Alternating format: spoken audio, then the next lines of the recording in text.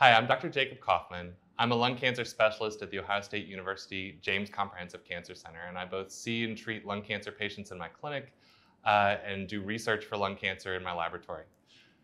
Um, the focus of my research is on mutations in a gene called STK11, um, which is a subset of lung cancer patients, and they have unique biology that makes them different from other cancers.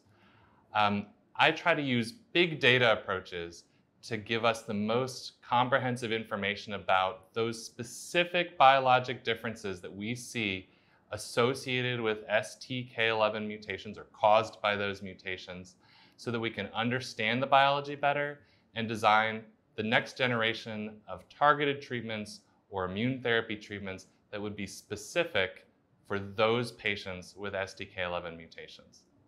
And if we're successful in accomplishing that, we'll have better treatments, better cures, and better outcomes for lung cancer patients in general, um, and for me with a special focus on STK11 mutations.